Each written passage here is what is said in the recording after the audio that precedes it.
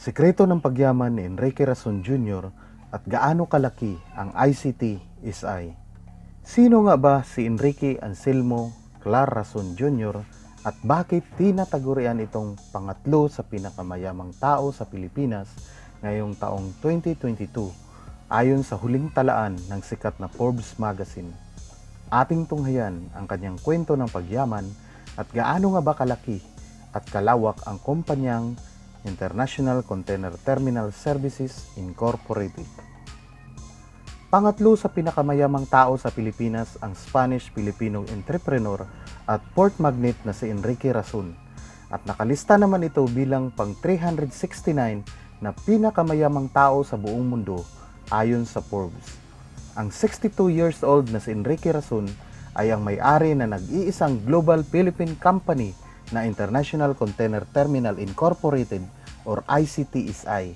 Pero bago pa man nat napabilang sa listahan ng mga pinakamayamang tao sa Pilipinas, ay atin mo nang tunghayan ang mga pinagdaanan nito bago pa siya yumaman.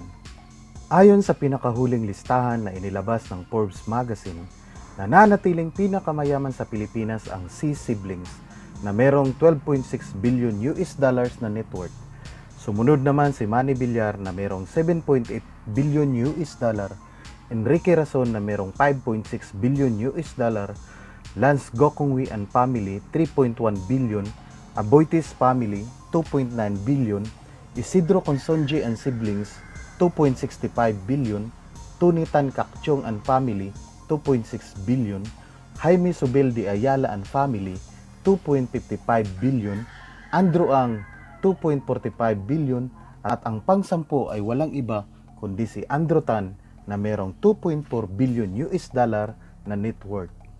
Kasama din sa listahan sina Lucio Tan, T. Siblings, Denise Anthony at and Mary Grace Oy, Lucio and Susan Ko, Hartono Quifanos and family, Pu family, William Bilo and family, Bibian Kwe Ascuna and siblings, Mercedes Gutianon and siblings, at BT Ang na pang 20 sa listahan ng mga pinakamayaman sa buong Pilipinas.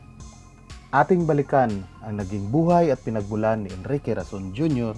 na tinataguri ang Port King ng bansa dahil sa kanyang negosyong International Container Terminal Incorporated. Si Enrique Anselmo Clarason Jr. ay isinilang noong March 3, 1960 at siya ay nagtapos ng elementarya sa Lasal Green Hills Grid School noong taong 1974. Nagtapos naman sa kursong Bachelor of Science in Business Administration itong si Enrique sa De La Salle University noong taong 1980 at meron din itong honorary degree of Doctorate of Science in Logistics mula sa DLSU na iginawad sa kanya noong taong 2019. Ang lolo mismo ni Enrique Rason Jr. ang siyang naging dahilan at nagpasimuno ng cargo at port industry sa ating bansa noong taong 1916. At ama naman ni Enrique na si Enrique Rason ang nagpalago nito pagkatapos ng World War II at nagbigay ng pangalang International Container Terminal Services Incorporated or ICT-SI. Taong 1987 naman ay namana ni Enrique Rason Jr. ang kumpanyang ICT-SI mula sa kanyang ama at noong taong 1988 sa pangunguna ni Enrique Rason Jr. ay nakuha ng ICT-SI ang pinakamalaking gateway sa bansa, ang Manila International Container Terminal at sila ang namamahala sa container terminal na ito. Gaano nga ba kalaki ang International Container Terminal Services Incorporated? Maliban sa Manila Container Terminal, ang ICTSI ay meron ding siyam na malalaking pantalan sa iba't ibang bahagi ng Pilipinas kagaya ng Bawan International Port Incorporated sa Batangas, Davao Integrated Port and Stevedoring Services Corporation, Laguna Gateway Inland Container Terminal, Hiju International Port Services sa Davao del Norte, New Container Terminals 1 and 2 sa Subic Bay. Mindanao International Container Terminal Services Incorporated sa Misamis Oriental at South Cotabato Integrated Port Services Incorporated sa General Santos City. Hindi lamang sa Pilipinas na mamayagpag ang ICTSI dahil may pag-aari din itong mga pantalan sa iba't ibang bahagi ng mundo. Kabilang na dito ang mga malalaking pantalan sa labing walong mga bansa, kagaya ng China, Indonesia, Pakistan, Australia, Brazil, Ecuador, Colombia, Argentina, Mexico, Congo at Pulan. Ang ICTSI ay siyang nagmamay-ari at nagpapatakbo ng mga pantalan sa Asia Pacific region kagaya ng Port of Tanjung Priok at PT Makassar Terminal Services sa Indonesia, South Pacific International Container Terminal at Motokia International Terminal Limited na matatagpuan sa Papua New Guinea. Meron ding container terminal sa Australia na matatagpuan sa Victoria International Terminal Limited at maging sa bansang China, meron ding terminal ang ICTSI na makikita sa Yantai International. Maliban sa Asia Pacific region, kabilang na ang Pilipinas, meron ding mga international port na nasa pamamahala ng ICTSI na matatagpuan sa Europe, Middle East at Africa. Ang Adriatic Gate Container Terminal ay matatagpuan sa Croatia, Baltic Container Terminal Limited sa bansang Latvia at Batumi International Container Terminal LLC sa Georgia. Nasa Middle East naman ang Basra Gateway Terminal na matatagpuan sa bansang Iraq at ang Pakistan International Container Terminal naman ay matatagpuan sa Port of Karachi sa bansang Pakistan. Sa iba't ibang bahagi naman ng South Africa ay matatagpuan ang mga kumpanyang ICTSI, DR, Congo SA, Kribi Multipurpose Terminal, Madagascar International Container Terminal, Services Limited at Uni Multipurpose Terminal. Maliban sa South Africa ay napasok na rin ng kumpanyang ICTSI ni Enrique Razon ang mga container terminal sa kontinente ng Amerika kagaya ng Conticon Guayay Guayaquil SA, Conticon Manzanillo SA, DCV. ICTSI Rio Brazil 1, Operadora Portuaria Centroamericana, SADCB, Sociedad Puerto Industrial de Aqua Dulce SA, at Tikon Swapi SA, Tik Plata SA, Terminal Marina de Tuxpan SADCB. Sa ngayon, ang ICTSI ay kilala bilang pinakamalaking port operator, innovator at port management pioneer sa buong mundo dahil lamang sa pamumuno ng isa sa pinakamayamang Pinoy sa buong bansa, si Enrique Rason Jr. Hindi lamang kilala bilang Port King sa buong mundo itong si Enrique Enrique Rason Jr. dahil noong taong 2010 ay nag-umpisa itong mag-invest sa entertainment and leisure industry sa pamamagitan ng 200 million US dollar investment sa sikat na Bloomberry Investments Incorporated na siyang nagmamay-ari ng Bloomberry Resorts and Hotels Incorporated.